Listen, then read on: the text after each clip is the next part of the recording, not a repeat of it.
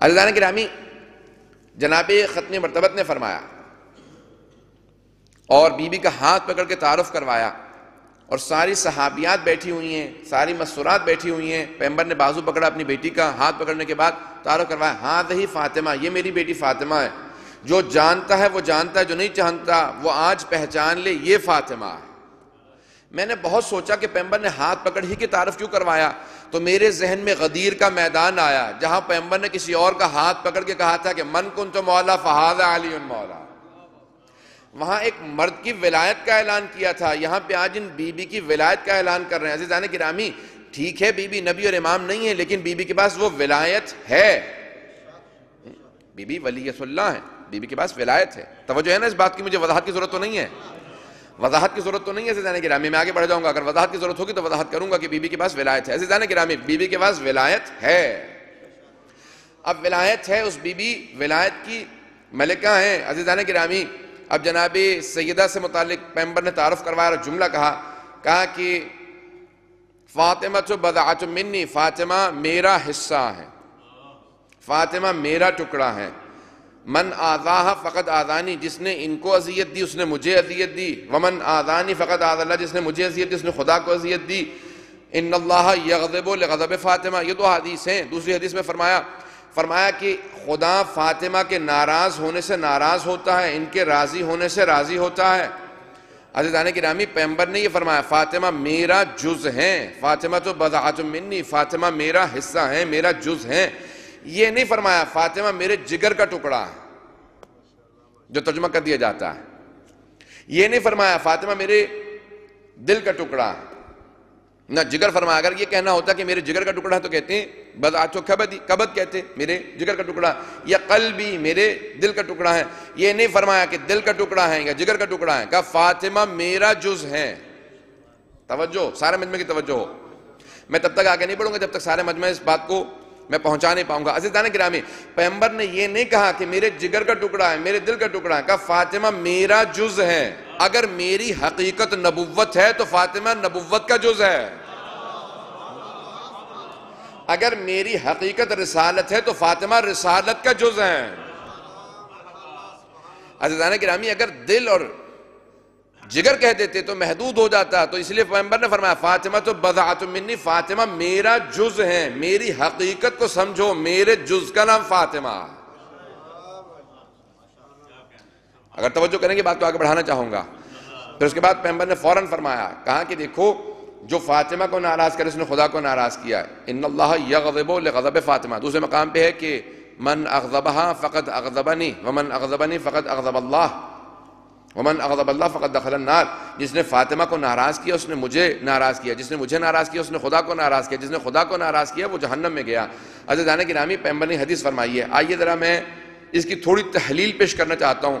ایک مرجع کی پوری کتاب ہے، اس کی تلخیص پیش کرنا چاہتا ہوں، اگر سننا فرمائیں گے۔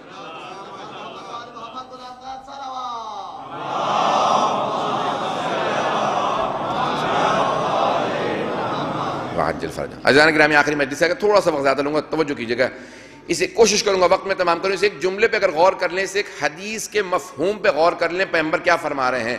عزیزان گرامی، سب سے بڑے جو دو اہل سنت کے عالم مانے جاتے ہیں، ایک فخر الدین رازی ہیں، صاحب تفسیر کبیر، تیس جلدوں پہ تفسیر لکھی ہے۔ ان کو کہا جاتا ہے امام المشککین۔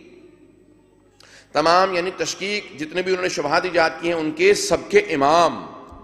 شک کے ڈالنے والوں کے امام سب سے زیادہ شبہات تفسیر کے اندر انہوں نے پیش کیے ہیں۔ اور دوسرے امام شمس الدین ذہبی شمس الدین ذہبی کو کہا جاتا ہے رأس المنتقدین تنقید کرنے والوں کے سردار۔ اب تفصیل نہیں جا سکتا ہوں اس کے اندر۔ سب بات پہنچ گئی ہوگی سب کے لیے میرے۔ امید ہے انشاءاللہ بات پہنچ گئی ہوگی سب کے لیے۔ تو زیادہ گرامی رأس المنتقدین شمس الدین ذہبی اور امام المشککین فخر الدین رازی ان دونوں نے اقرار کیا ہے۔ کہ یہ حدیث صحیح السند ہے۔ سب سے جو بڑے دو عالم ہیں جنہوں نے بے انتہا تنقید کی ہے اہل بیت کی شان میں نازل ہونے والی آیات کی اور احادیث کی، ان دونوں نے قبول کیا ہے کہ یہ حدیث صحیح السند ہے۔ اس میں کوئی شکی نہیں کہ پیمبر نے فرمایا کہ اللہ سبحانہ و تعالیٰ جناب سیدہ کے غضبناک ہونے سے غضبناک ہوتا ہے۔ ان اللہ یرضا لے رضا ہاں و یغضب لغضب ہاں فاطمہ کے راضی ہونے سے اللہ راضی ہوتا ہے۔ ان کے غضبناک ہونے سے اللہ غضبناک ہوتا ہے۔ توجہ توجہ توجہ۔ میں نے کہا میں اس کی تحلیل پیش کرنا چاہتا ہوں، سارے مجمع کی توجہ ہوگی۔ عزیزان گرامی، سارے کے سارے صحابہ سب انسان کوشش یہ کرتے ہیں کہ نیک کام کریں اور اللہ ان سے راضی ہو جائے۔ ہم نیک کام کرتے ہیں کہ اللہ راضی ہو جائے یعنی سب کوشش یہی کرتے ہیں کہ سب رضی اللہ عنہ بن جائے اللہ سب سے راضی ہو جائے۔ بات کو پہنچ جائیے گا عزیزان گرامی کہ سب یہ کوشش کرتے ہیں، اللہ راضی ہو جائے یہ ہے انسانوں کا مقام، لیکن انبیاء کا مقام بالا تر ہے۔ وہ یہ کوشش نہیں کرتے کہ اللہ ان سے راضی ہو جائے۔ اگر اللہ راضی نہیں تھا تو نبی کیوں بنایا؟ اللہ راضی ہے تبھی تو انبیاء کو انبیاء بنایا ہے۔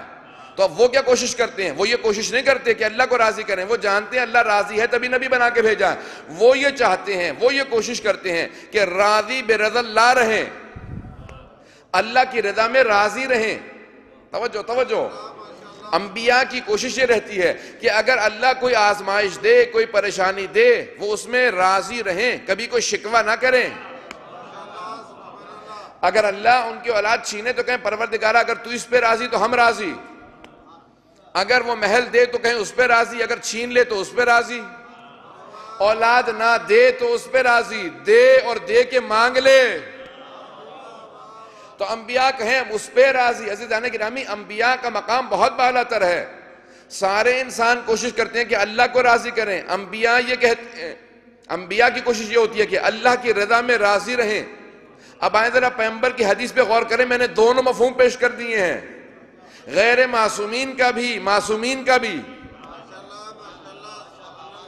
غیر معصومین کا درجہ یہ ہے کہ وہ اللہ کو راضی کرنے کی کوشش کریں گے۔ معصومین کا درجہ یہ ہے کہ وہ اللہ کی رضا میں راضی رہیں گے۔ اب پیمبر کیا فرما رہے ہیں؟ پیمبر فرما رہے ہیں کہ اللہ فاطمہ کے راضی ہونے سے راضی ہوتا ہے۔ ان کے غزبناک ہونے سے غزبناک ہوتا ہے۔ نہ اللہ وہ کہہ رہا کہ جو صحابہ کا درجہ ہے۔ توجہ توجہ۔